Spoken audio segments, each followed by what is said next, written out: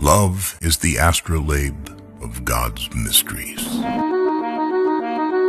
A lover may be drawn to this love or that love, but in the end, love leads us beyond. Be a rider of true love, and fear not the way.